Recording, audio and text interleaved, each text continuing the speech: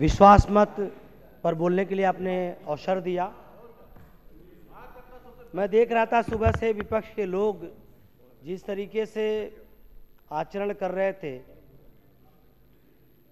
सदन की गरिमा को गिरा रहे थे, बड़ा दुख हो रहा था।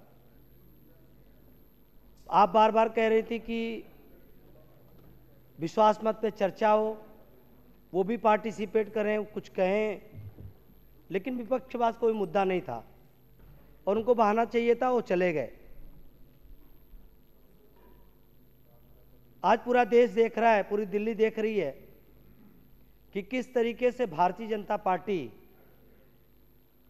पूरे देश में एक नए तरीके का संविधान लिखने का कोशिश कर रही है।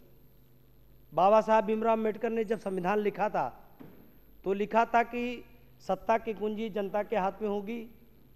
जनता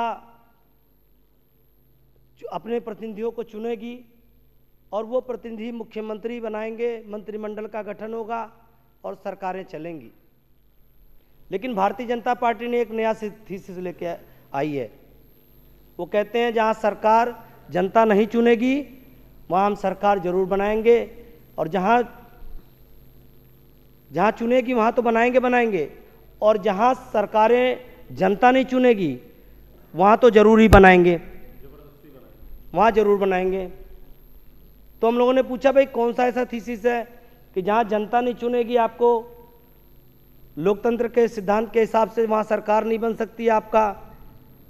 ऐसा कौन सा जादू की छड़ी है जिससे आप सरकार बना लेते हैं? जरा बताइए। तो आज एक नया कॉन्सेप्ट पूरे देश में चर्चा में है। ऑपरेशन लोटस एक नया सिद्धांत है। जहाँ सरकार को जनता चुने ना, जहाँ भारतीय जनता पार्टी को रिफ्यूज कर दे, वहाँ कहते हैं हमारे पास ऑपरेशन लोटस है। तो बोले, भाई ऑपरेशन लोटस क्या है ये? बोले, पहला उसका चरण है, तीन चरण में काम करता है ये। पहला चरण है कि विपक्ष के लोगों को डराएँगे जो डर गए उनको अपने में शामिल करा लेंगे। और एक वॉशिंग मशीन भी लगा रखा है उन्होंने। जितने करप्ट लोग होंगे उनको उस वॉशिंग मशीन में लगाएँगे डालेंगे। और उनका चरित्र है? हाँ निरमा पाउडर डाल के। वो बिल्कुल उनका कैरेक्टर बढ़िया हो जाएगा।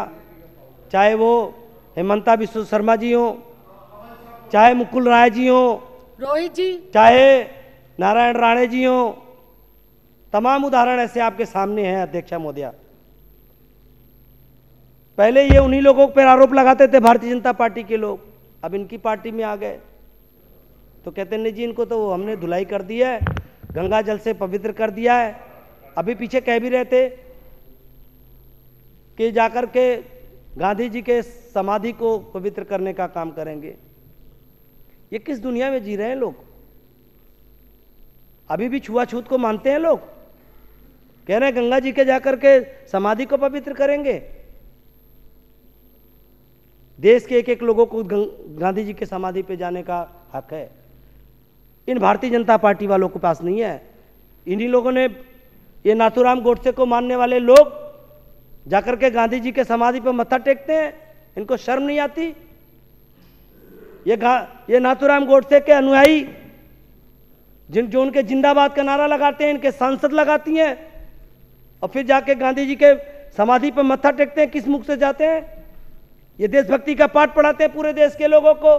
सत्तर सालों तक इनके मातृ संस्था के मुख्यालय पर भारत माता का माता का तिरंगा झंडा नहीं लहरा लहराया गया।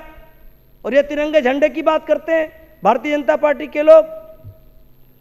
आज पूरा देश देख रहा है। जब जब ये अपना कीचड़, भ्रष्टाचार का कीचड़ फैलाने की कोशिश करते हैं। पूरे देश में अश्वमेध यज्ञ लेके घूमते हैं अपना घोड़ा। दिल्ली में आकर के अरविंद अरविंद केजरीवाल जी के नेतृत्व में वो घोड़ा इनका रुकने का काम होता है, क्योंकि यहाँ पे झाड़ू है। याद रखो भारतीय जनता पार्टी के लोगों, यहाँ पे झाड़ू है। और झाड़ू का काम है, जब जब आप भ्रष्टाचार का कीचड़ फैलाने की कोशिश करोगे तो उसको साफ़ करने का काम करेगा। आपका कमल का फूल दिल्ली में खिलने वाला नहीं है। और जहाँ जहाँ भी आदरणीय अरविंद केजरीवाल जी का झाड़ू पहुंचेगा। आपके कीचड़ और गंदगी का साफ़ करके कमल के फूल को खिलने से रोक देगा। यही आपको घबराहट है पूरे देश में। आज आदरणीय अरविंद केजरीवाल का झाड़ू पूरे देश में पहुँच रहा है। पहले दिल्ली में पहुँचा पंजाब में पहुँचा।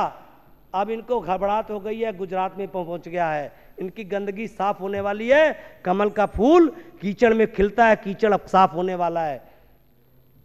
तो कहते हैं, दिल्ली में भी ऑपरेशन लोटस करेंगे। अरे, ऑपरेशन लोटस करने आए हो? 2013 में भी प्रयास किया था आप लोगों ने। 28 लोग थे हम लोग, चुन के आए थे। बहुत साधारण घर के लोग थे सब लोग। वहाँ भी आप लोग सफल नहीं हुए थे। और आज आप फिर 12-12 लोगों को अप्रोच करने की कोशिश किए हैं। एक भी आवेदन अरविंद केजरीवाल जी का सिपाही बिकाऊ नहीं है, याद रखना। देश पर मर मिटेगा।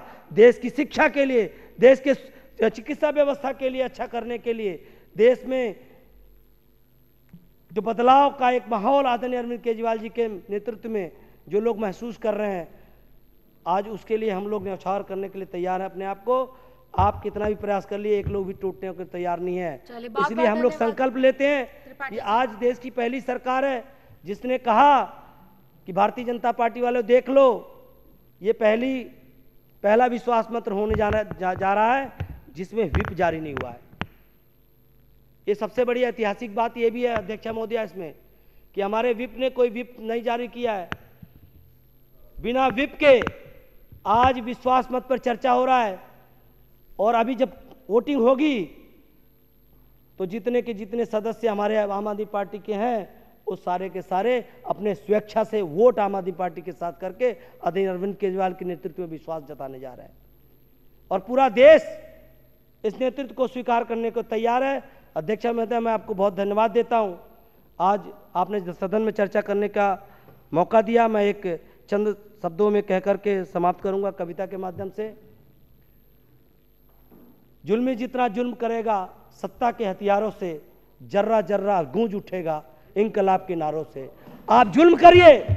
भारतीय जनता पार्टी वालों, आप जुल्म करिए। आप सीबीआई भेजिए। आप ईडी भेजिए। आप आईटी भेजिए। आप एसीबी भेजिए। आप पुलिस भेजिए। आप किसी को भी भेज लीजिए। आम आदमी पार्टी के लोग, ईमानदार लोग हैं।